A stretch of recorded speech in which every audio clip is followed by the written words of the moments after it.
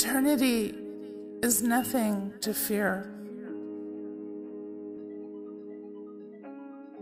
We don't just disappear. Perhaps there's no thing to worry about when we leave these bodies behind. We merge into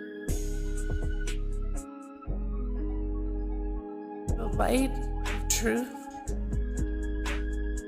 of our eternal nature.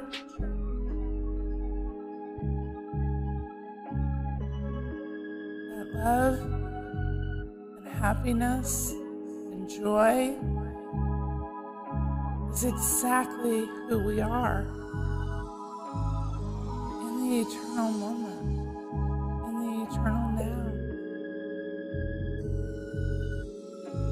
And so I say there's nothing to fear when we're aware and clear that the beingness that we are is forever. Lose. We just continue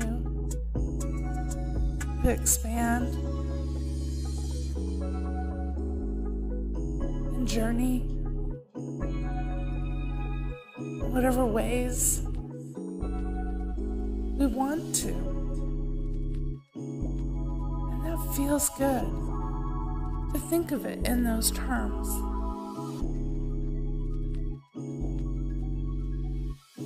Until we talk again, friend.